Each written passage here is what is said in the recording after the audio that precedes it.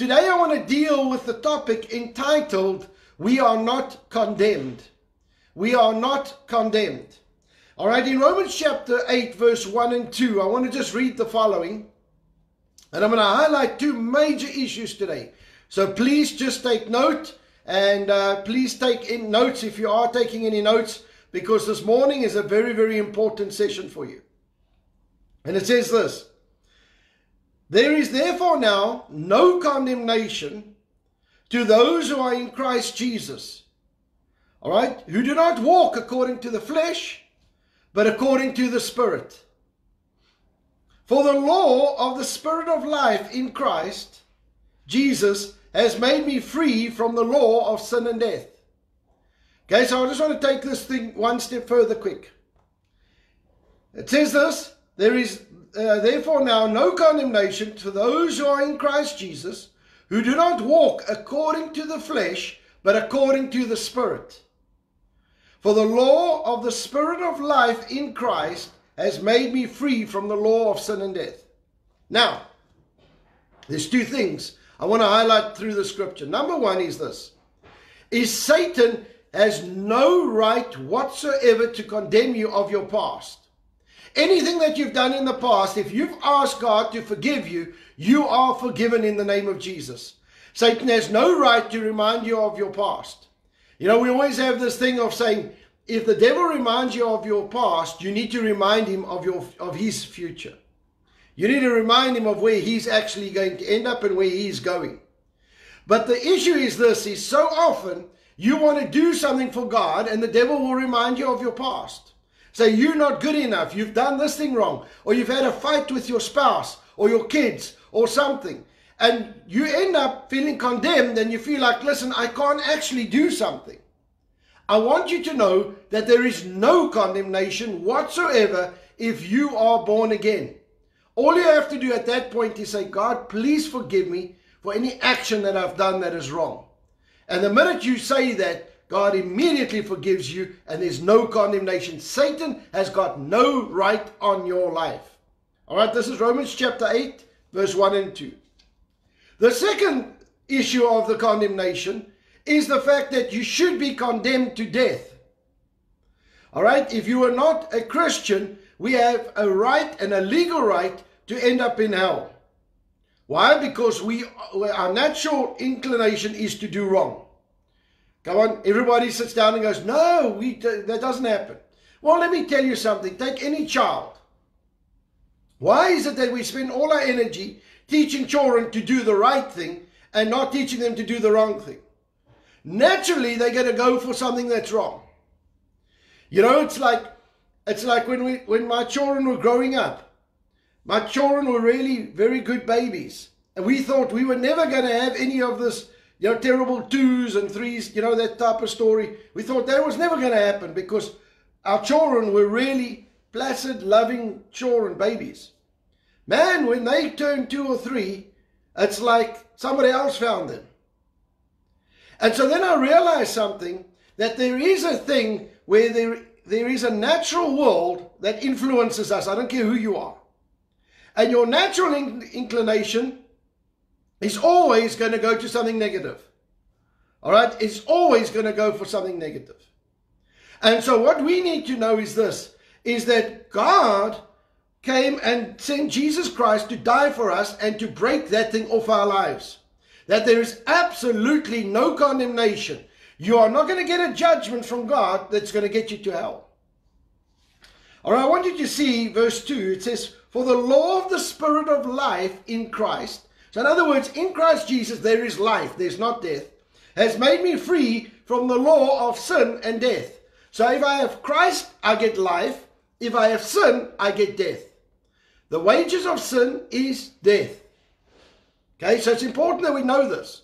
So, if I practice sin, it's going to bring death into my life. If I practice Jesus Christ and his principles, I'm going to release life on my life. And so you need to decide today which way you're going to go. That's why it says in verse 1, and I want you to take note of this. It says this There's no condemnation for those who are in Christ, who do not walk after the flesh. In other words, you are not just doing things in the natural. the world's way of doing it, the logical way of doing it, the fair way of doing it. But those who walk according to the uh, to the spirit, what does that mean? It means according to the biblical principles. If I apply the biblical principles, there is absolutely no stronghold in my life. And if there is, I repent and God uh, releases me from it straight away, and Satan doesn't get a foothold into my life. And so today I want us to understand the two areas of condemnation. Number one, if you've accepted the Lord Jesus Christ, you are going to heaven.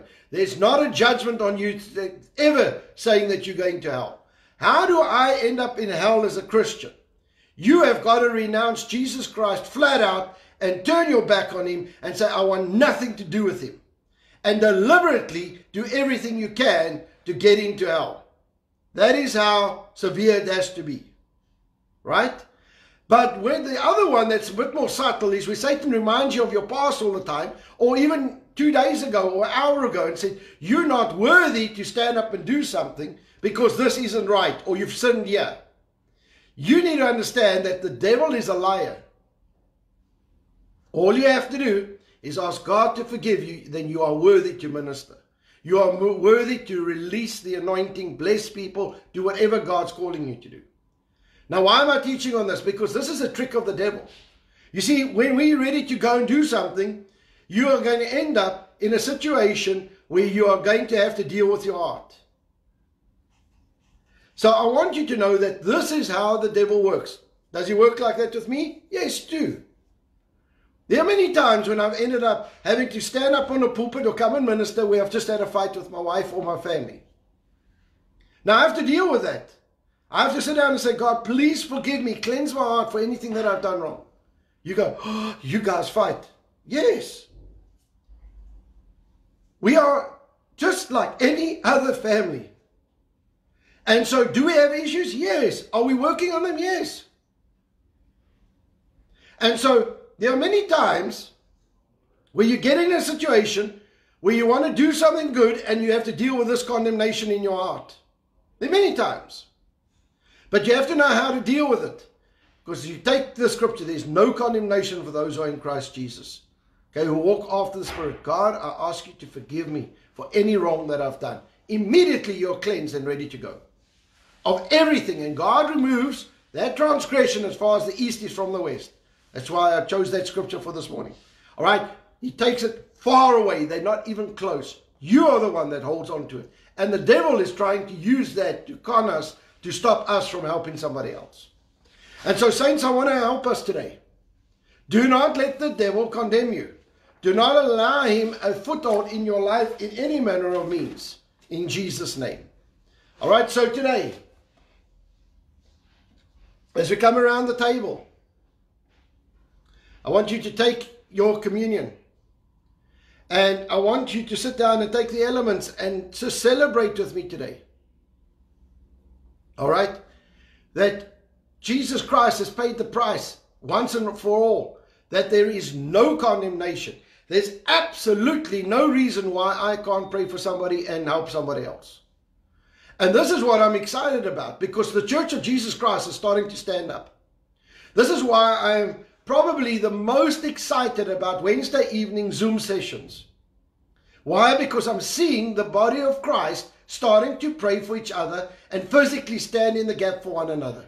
Man, I'm telling you what, the reports are phenomenal. And you are going to see how fast those people are going to grow spiritually because they're actually doing something. You are going to see how people are going to stand up. We are going to have leaders raised up across this nation because they are practicing their gifts. It's one of the most incredible platforms and methods that I've ever seen in ministry where people can actually start ministering to each other. I'm really so, so excited. In fact, I'm actually believing that that's one of the the new modern day pillars of developing ministry. Because it's such an awesome place where people can actually stand in the gap for each other. But today, I want you to take communion. And as we take communion, we are going to thank God that there is no condemnation in my life. Anything that I've done wrong right now, God will forgive me. anything that's part of my past, I'm telling you right now, it is over. There is no condemnation if I am a Christian. And Satan is lying to you. Okay? So let's let's pray together. Lord, I just thank you that as we come before you, we thank you, Lord, that we can celebrate the fact that there is no condemnation in our lives. We are free. And Lord, I thank you right now that every time Satan comes to lie to us, that we will stand and turn it around in Jesus' name. Lord, I thank you that you are moving in our lives in Jesus' name. And Lord, that each one of us are going to flow and do what you are calling us to do. And Lord, we ask you to forgive us for any wrong that we have done, any thought, intent, or word spoken. Lord, we ask you to forgive us in the name of Jesus. And Lord, as we take communion right now, we celebrate the fact that we are free and we are ready to give. Excuse me, we are ready to listen. We're ready to minister wherever you want us in Jesus' name. I thank you, Lord, that we will hear your voice clearly and do what you're telling us in the name of Jesus. In the night that Jesus was betrayed, he took the bread and broke it. He said, This is my body that was broken for you. He took the cup and said, This is my blood that was shed for you. The body was broken for your physical, emotional healing. The blood was shed for your salvation, your protection, and your provision. And so, right now, I want to just encourage each and every one of you do not let the devil lie to you. You are worthy. You are a son and daughter of the Most High God. There is no condemnation whatsoever in your life. You go and do what God has called you to do because of the price that was paid. So let's partake together.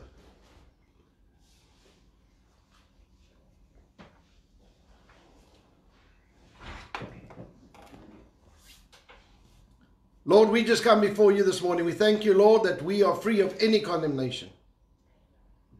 And Lord, right now we pray for physical healing. We command every symptom in our body to go in Jesus' name. We thank you, Lord, that we are healed by the power of God and we release the dunamis power of God in our lives right now. We thank you, Lord, that your word says that the Spirit of God that dwells inside of us quicken our mortal bodies and we are healed. We thank you, Lord, for emotional healing. We release the power of God over our soul in Jesus' name. We thank you, Lord, that you will help us deal with any unforgiveness, any resentment, any offense. In Jesus' mighty name, Holy Spirit, you come and work in our lives and bring us to the place that you have in Jesus' name for each one of us. Lord, I thank you for the victory right now and the testimonies that are coming in the mighty name of Jesus. And everybody said, Amen and Amen. Well, folks, we are going to um, get into praying for our nation today. And I want to just thank you that as we stand together, you have no idea the power that when we stand together. Please, I want to remind you before I pray, if you if you do not like our page, our Facebook page, please like our Facebook page so that every single time we post something, you are notified so you know when we're going live. But secondly, please, I want to encourage you when you get the WhatsApp, if you're part of the groups, we are relying on you to go and spread the word. The testimonies that are coming across the nation, um, the, the word coming back to us is phenomenal. Why? Because the saints are helping spread the gospel. This is truth. This is stuff that can change people's lives. And as we do that, it will be the most strangest people that will sit down and suddenly you'll pick up and go, but that person's also following and that person's actually doing. One of the things that is exciting me is the amount of people actually practicing what we are being taught. Okay, and that is going to change the nation. Not information, the people doing what God says we must do.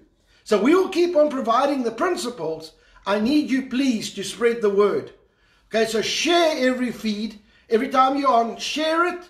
Like the Facebook page, but also the WhatsApps. When they come, just keep sending them. I want to thank those that are downloading the app. I see that it's really going to assist you. I believe in it. We're going to make some changes to it. And then we're going to go for the iPhone. Okay, we're going to put it onto Apple. But I want us, please, we are a family. And the issue is we are fighting for South Africa. All right, we are fighting for South Africa. And so as we do that, the more Christians come on board and start praying, the stronger the anointing. We two or more agree upon one thing, it shall be established in Jesus' name. All right, so let's pray over our nation together. Lord, we come before you and thank you, Lord, that we as believers can stand united today. We thank you, Lord, for our economy. We thank you for the blessing of the Lord to be made manifest across our nation. Lord, we thank you for every sector. We thank you, Lord, that everywhere we go, we will see the blessing of God being made manifest. Lord, I pray that as we go into our businesses, that we will establish the altars.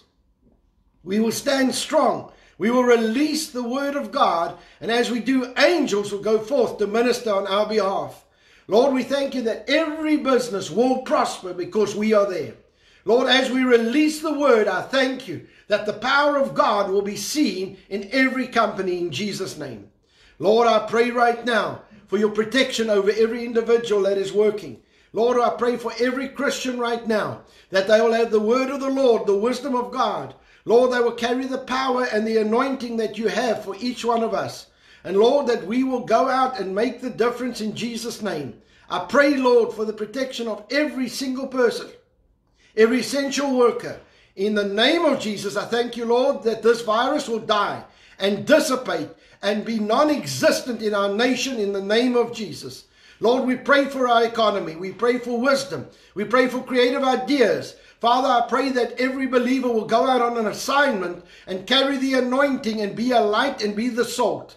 Father, I thank you right now that as we stop the decay, there will be the blessing of God wherever we go in Jesus' name. Lord, we pray for our leaders today. We pray for President Ramaphosa and the cabinet and our lo- local municipalities and our mayors and the, and the members of parliament and Lord, our, our uh, members um, of local government. Father, we pray right now that every single uh, councillor, every single member of parliament, every leader, Father, I pray that they will be under the subjection of your Holy Spirit.